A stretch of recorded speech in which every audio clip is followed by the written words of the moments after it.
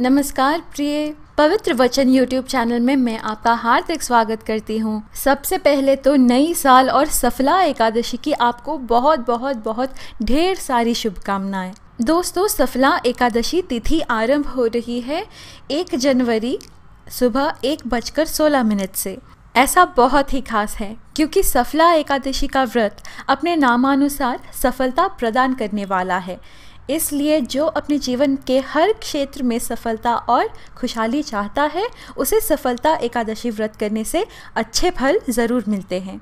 दोस्तों, हम सब नए साल में ढेर सारी उम्मीदें और नई उमंग के साथ कदम रखते हैं। साल का पहला दिन ही ऐसी आशीर्वाद लेकर आए कि आपके कार्यों में आपके श्रम अनुसार आपको सफलता ज़रूर मिलेगी।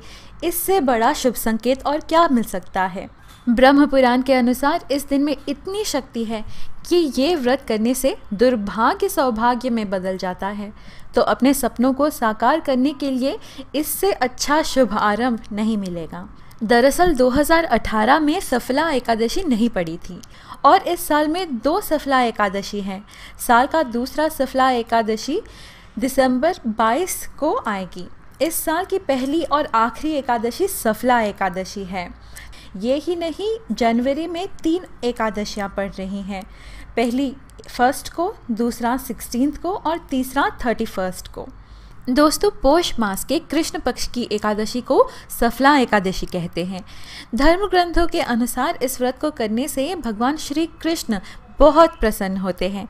इस एकादशी के देवता श्री नारायण हैं। विधि पूर्वक इस व्रत को करना चाहिए। पद्म पुराण में कहा गया है कि विष्णु भगवान को सफला एकादशी के अनुष्ठान से बहुत जल्द प्रसन्न किया जा सकता है। वह दिन भर के उपवास एवं रात्रि जागरण से राजसु यज्ञ के समान फल प्राप्त किया जा सकता है। तो अब मैं आपको एकादशी व्रत मनाने की विधि बता दूँ। इस व्रत को करने के लिए भक्तों को एक दिन पूर्व से ही नियम करना होता है, यानी कि दिसंबर 31 से ही। एकादशी को तुलसी दल नहीं तोड़ते, इसीलिए दशमी को ही विष्णु पूजा के लिए तुलसी दल सिद्ध कर लें। दशमी तिथि को सात्विक भोजन करें, भोजन में लहसुन, प्याज आदि प्रयोग ना करें, रात्रि को एक बार ही भोजन करें। साथ ही मांस और नशीले वस्तुओं का सेवन भूल कर भी ना करें। थर्टी फ़र्स्ट की रात है तो कई लोग न्यू ईयर्स ईव पार्टी मनाते हैं तो इस बात का सौ प्रतिशत ध्यान रखें। घर और मंदिर की सफ़ाई अच्छे से कर लें। एकादशी के दिन भी लहसुन प्याज का सेवन करना वर्जित है। इस दिन किसी पेड़ या पौधे की फूल पत्ते तोड़ना भी अशुभ माना जाता है। वैसे ही झाड़ू लगाना भी, क्योंकि सूक्ष्म जीव झाड़ू के क्रिया में मर सकते हैं।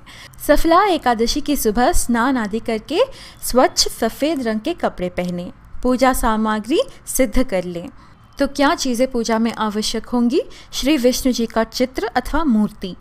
पुष्प, पुष्पमाला, नारियल, सुपारी, बिजौरा, नींबू, अनार, आंवला, लौंग, बैर, अन्य ऋतुफल, धूप, दीप, घी, पंचामृत, यानी कि कच्चा दूध, दही, घी, शक्कर और शहद का मिश्रण, अक्षत, तुलसी दल, चंदन और भगवान को भोग चढ़ाने के लिए मिष्ठान।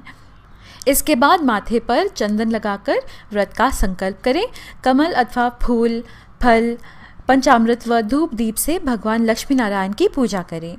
धूप दीप अर्पित करें। सफला एकादशी पर धन का वरदान पाने के लिए लक्ष्मी जी के साथ श्री हरि की पूजा करें। माँ लक्ष्मी को सौंफ और श्री हरि को मिश्री अर्पित करें। पूजा के बाद ओम ह्रीम श्रीम लक्ष्मी वासुदेवाय नमः का 108 बार जाप करें। एक बार फिर से दोहराती हूँ। मंत्र है ओम ह्रीम श्रीम लक्ष्मी वासुदेवाय नमः। पूजा के बाद सौंफ और मिश्री को एक साथ रख लें और इसे रोज़ाना सुबह प्रसाद के तौर पर ग्रहण करें। भगवान श्री हरि के विभिन्न नाम मंत्रों से बोलते हुए भोग लगाएँ। सफला एकादशी की कथा सुने अथवा सुनाएँ? पूजा विधि एक्सप्लेन करने के बाद में व्रत कथा सुनाऊँगी। कथा संपूर्ण होने पर श्री विष्णु जी की आरती करें। उपस्थित जनों में प्रसाद वितरण करें। पूरे दिन निराहार, यानी कि बिना कुछ खाए पिए रहें। शाम को दीपदान के बाद ही फलाहार कर सकते हैं। आज अन्न बिल्कुल नहीं खाना चाहिए, बल्कि किसी भी प्रकार का धान्य से भी दूर रहें। वाटरी फ्रूट्स यानी कि जिन फलों में पानी की मात्रा ज़्यादा होती है, जैसे कि ऑरेंज हो या वाटरमेलन ऐसे फल भी ना खाएँ। हरी सब्ज़ियाँ भी ना खाना चाहिए। तो फिर क्या खा सकते हैं? दूध, दही, बादाम पिस्ता ले सकते हैं। सफला एकादशी की रात जागरण करने से जो फल प्राप्त होता है, वह हज़ारों वर्ष तक तपस्या करने पर भी नहीं मिलता। ऐसा धर्म ग्रंथों में लिखा है। द्वादशी यानी कि 2 जनवरी बुधवार को भगवान की पूजा के बाद ब्राह्मणों को भोजन करवाकर जनेऊ एवं दक्षिणा देकर विदा करने के बाद ही स्वयं भोजन करें। एकादशी का पारण हरिवासर के समाप्ति पर ही होता है, यानी कि द्वादशी पर, यानी कि 2 जनवरी को ये समाप्त हो रहा है, प्रातः सात बजकर उनतालीस मिनट को। तो पारण का शुभ समय हो रहा है। प्रातः सात बजकर उनतालीस मिनट से आठ बजकर चौवन मिनट तक। सफला एकादशी का महत्व ब्रह्मांड पुराण में धर्मराज युधिष्ठिर और भगवान श्री कृष्ण के बीच बातचीत के रूप में वर्णित है। इसी बातचीत के दौरान भगवान श्री कृष्ण धर्मराज युधिष्ठिर को कथा भी सुनाते हैं। आइए सुने। चंपावती नगरी में एक महिष्मान नाम का राजा राज्य करता था। उसके चार पुत्र थे। उन सब में लुम्पक नाम वाला बड़ा राजपुत्र महापापी था। वह पापी सदा परस्त्री और वैश्यागमन तथा दूसरे बुरे कामों में अपने पिता का धन नष्ट किया करता था। सदैव ही देवता ब्राह्मण वैष्णवों की निंदा किया करता था। जब राजा को अपने बड़े पुत्र के ऐसे कुकर्मों का पता चला तो उन्होंने उसे अपने राज्य से निकाल दिया। तब वह विचारने लगा कि कहाँ जाऊँ, क्या करूँ? अंत में उसने चोरी करने का निश्चय किया। दिन में वह वन में रहता और रात्रि को अपने पिता की नगरी में ही चोरी करता तथा प्रजा को तंग करने के और उन्हें मारने का कुकर्म करता। कुछ समय पश्चात सारी नगरी भयभीत हो गए वह वन में रहकर पशु आदि को मारकर खाने लगा। नागरिक और राज्य के कर्मचारी उसे पकड़ लेते किंतु राजा के भय से छोड़ देते। वन के एक अति प्राचीन विशाल पीपल का वृक्ष था। लोग उसकी भगवान के समान पूजा करते थे। उसी वृक्ष के नीचे वह महापापी लुम्पक रहा करता था। इस वन को लोग देवताओं की क्रीड़ा स्थली मानते थे। कुछ समय पश्चात पोष कृष्ण पक्ष की दशमी के दिन वह वस्त्रहीन होने के कारण शीत के चलते सारी रात्रि सो नहीं सका। उसके हाथ पैर अकड़ गए। सूर्योदय होते होते वह मूर्छित हो गया। दूसरे दिन एकादशी को मध्यान्ह के समय सूर्य की गर्मी पाकर उसकी मूर्छा दूर हुई।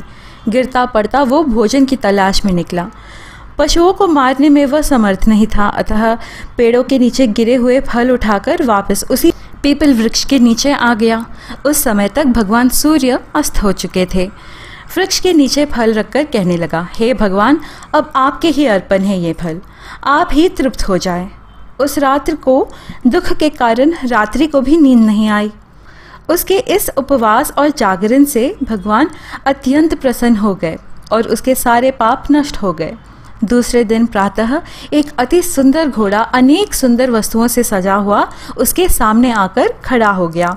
उसी समय आकाशवाणी हुई कि, हे राजपुत्र, श्री नारायण की कृपा से तेरे पाप नष्ट हो गए। अब तू अपने पिता के पास जाकर राज्य प्राप्त कर। ऐसी वाणी सुनकर वह अत्यंत प्रसन्न हुआ और दिव्य वस्त्र धारण करके भगवान आपकी जय हो कहकर अपने पिता के पास गया। उसके पिता ने प्रसन्न होकर उसे समस्त राज्य का भार सौंप दिया और वन का रास्ता लिया। अब लुम्पक शास्त्रानुसार राज्य करने लगा। उसके स्त्री, पुत्र आदि सारा कुटुंब भगवान नारायण का परम भक्त हो गया। वृद्ध होने पर वो भी अपने पुत्र को राज्य का भार सौंपकर वन में तपस्या करने चला गया और अंत समय में वैकुंठ को प्राप्त हुआ।